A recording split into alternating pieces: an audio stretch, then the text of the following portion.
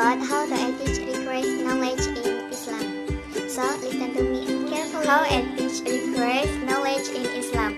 Studying is noble worship. With, no, with knowledge, one will know his God and be able to fulfill his obligation and right.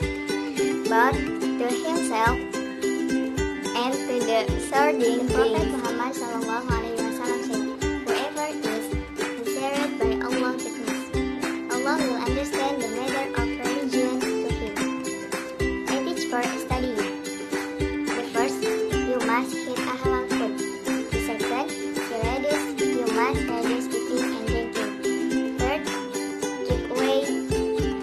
liver.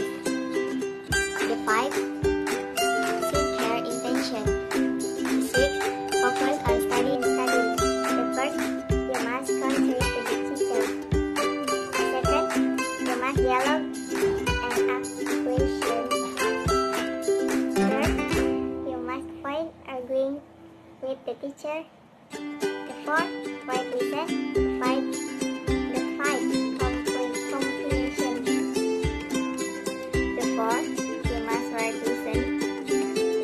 compilation.